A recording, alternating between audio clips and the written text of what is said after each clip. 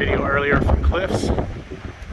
That's where it was, up there, hanging over the edge of, let's see, right there.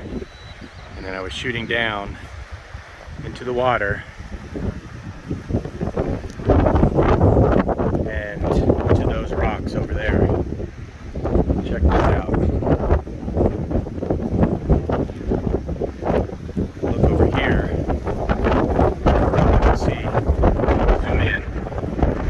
Water goes down into like a little cave or something there.